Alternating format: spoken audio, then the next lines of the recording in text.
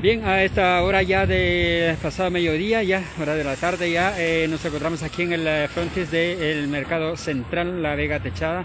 Y eh, bueno, vamos a conversar con Pedro Valdés, quien es presidente de eh, Sotrembela y también de la Junta de Vecinos, Parques Nacionales, en relación a lo que es la preocupación por la logística de las ollas comunes, sobre todo que él ha venido trabajando fuertemente en esta área. Cuéntanos sobre esta preocupación que se viene en las ollas comunes.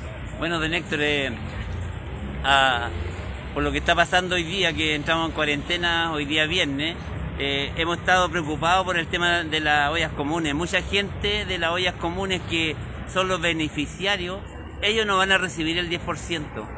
Ellos siguen viviendo con eh, pensiones miserables y algunos con muy poca y precaria eh, de, su, de su sustento. La verdad que eh, en las ollas comunes son los, adultos mayores, los, adultos postrados y familias con altos niños que han sido beneficiados en este tiempo en estas ollas comunes. Bueno, nuestra preocupación es a raíz porque nosotros como, como sector de La Vega hemos sido suministrados, suministramos algunos elementos como la fruta, la verdura y con los vecinos de acá de la panadería Amigas también le entregamos el pan a estas ollas comunes. Eh, estuvimos en, plena pandemia entregando más de 400 panes que ha entregado gratuitamente la olla, la panadería Amigas de aquí del sector de La Vega, que si pensamos que en un mes son cuatro semanas eran 1.600, 1.400, 4 por 4, 16, 1.600 panes que entregaba la panadería Amigas.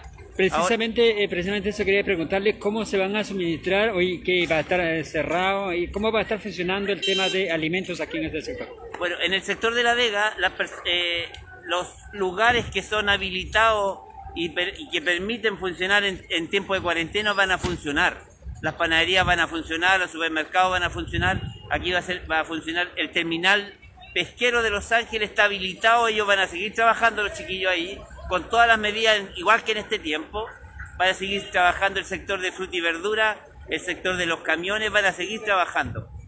Eso primero. Y lo otro, eh, estamos preocupados por cómo llevamos estos elementos a las ollas comunes. Entonces, tuvimos en conversación ayer a la, con Carabineros y nos decía que uno tiene que ir a... bueno, eh, hablamos con los chiquillos de la, de la olla común de, la población de Rompello, con el presidente, don Néstor, y con la presidenta de la, de la olla común de Padre Hurtado. Lo que, lo que, lo que se llegó a acuerdo es que esos, ese grupo de personas que está cocinando en estas ollas comunes van a ir para allá y van a tener que pedir un permiso para habilitarlo a trabajar en eso. Y nosotros como los que llevamos los insumos, la parte logística de esto, también vamos a tener una conversación hoy día con Carabineros para ver la posibilidad que nos den también una, un pase especial. Un salvoconducto, un salvoconducto especial que no existe para esta labor. Porque si uno viene cierto, yo puedo ir a comprar insumos para mi casa, pero en esta tarea, y yo tengo posibilidad de salir dos veces con permiso para allá consumo, pero resulta que las ollas comunes, en la de Orompello es el día lunes, miércoles y viernes, en la, en la de Padre Hurtado es lunes y jueves, en la Villa Génesis el día viernes. Entonces, vamos a tener que tener una conversación para que nos puedan dar un, algún permiso especial de salvoconducto para poder llegar a estos lugares. Esperamos que se pueda llegar a buen término porque no existe este tipo de, de, de permiso especial para este tema. Entonces, la conversación va a ser aquí eh, hoy día en la tarde, pero ya por lo menos eh, nuestro jefe de cuadrante, eh, el, suboficial Moya, ya nos, dio alguna está, Está, a la disposición de la, autoridad policial, por ejemplo, de generar algún permiso adicional eh, para, este, para este trabajo, porque hay que considerar de que hay gente que, eh, que si no se le llega con pan en, en estas ollas comunes, prácticamente ellos no pueden comer durante el día.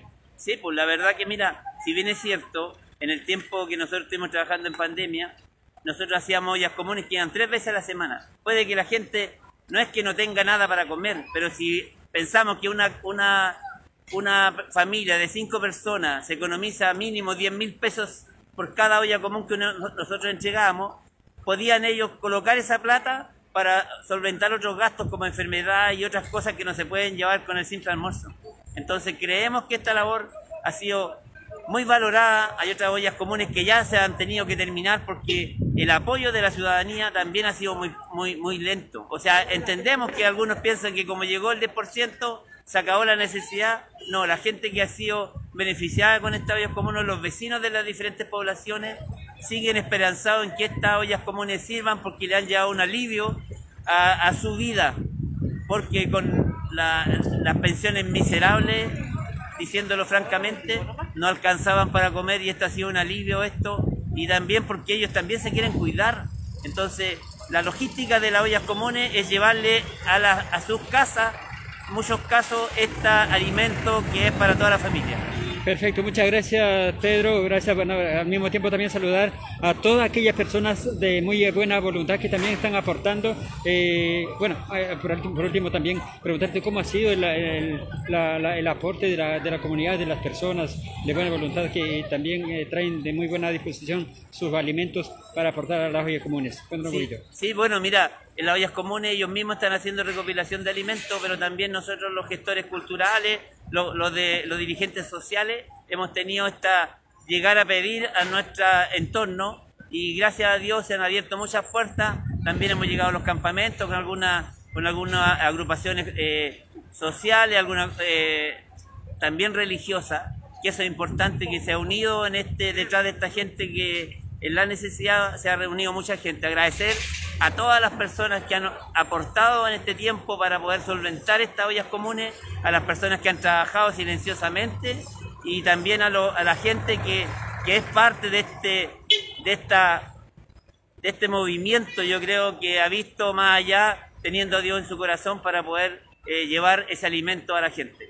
Perfecto, eh, gracias Pedro. Bueno, por último también se vienen la campaña que son muy fuertes también y por ahí un pajarito nos está informando de que usted viene como candidato a concejal, ¿cierto o no? Bueno, la verdad que eh, más que más que como Pedro Valdés, yo creo que aquí en La Vega necesitamos tener una persona en el municipio que se pueda sentar a la mesa como de la misma manera, porque La Vega es un punto central en general. La Vega peleó para que se, quedaran los terminales en La Vega. Peleamos para que no se hicieran eh, los estacionamientos subterráneos en Colón. Se han sido campañas que ha generado La Vega y yo creo que ya es tiempo que nosotros tengamos que tener una persona sentada en el municipio para pelear nuestras propias batallas y también como dirigente social. Yo creo que es muy importante que este año el cambio de los concejales puedan ser dirigentes sociales que tengan vivencia en la calle, no que sean solamente eh, parte de un partido político. Así que estamos esperando, no, no, no nos desvelamos por eso, hemos trabajado ya 10, 12 años en el tema social, así que yo creo que las cosas se van dando de a poco. Así que gracias por la pregunta, pero estamos en espera viendo la posibilidad de que alguien de nuestro sector eh, sea levantado como un candidato de, de, este sector de La Vega para que defienda las cosas de La Vega. Hoy por último, hoy la cantidad de gente hoy día que ha salido ya van desde Sierra, mucha gente en la calle. Mira, yo creo que, que hoy día fue mucha gente. Yo creo que la cuarentena del fin de semana debería haberse suspendido por este fin de semana para que la gente se preocupara lentamente de, de provisionarse, porque hay gente que no va a poder saber, no tiene tema de la computación para pedir los, los, pases para salir.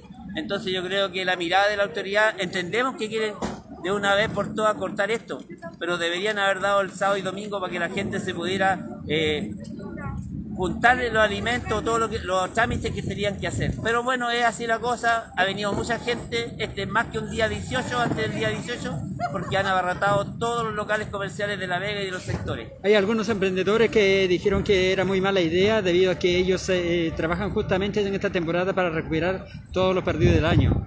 ¿Qué, qué piensa usted? Bueno, mira, eh, ayer lo decían en, en otro medio de comunicación, eh, muchos de, muchos de los hijos de la gente que trabaja en La Vega ya había comprado su, su, papel de regalo para poder eh, juntar unas pocas lucas. Hay mucha gente que ha invertido en estos días anteriores todo para esta Navidad. Pero bueno, las cosas son así ahora. Eh, hay mucha gente que, que, va a tener que va a tener muchos problemas para sustentar. Esperamos que no sea más que, la, que, que una quincena de cuarentena y no se aplace y la gente entienda que esto es una medida restrictiva que en pleno invierno estábamos pidiendo para que cortara y ahora cuando tenemos más contagiados más y lamentable nos tocó en esta fecha algunos que teníamos invertido muchas cosas para poder salvar esta Navidad, pero bueno, las cosas son así, creemos que hay que, hay que tomarlo en serio, hay que tomarse en serio esto y que ojalá que esto nos sirva para parar el contagio inmenso que tenemos en la, en la comuna de Los Ángeles. Bien, gracias Pedro. Entonces estamos acá eh, cubriendo... Una gran importante noticia. Muchas gracias por, su tiempo. Gracias, Don Héctor.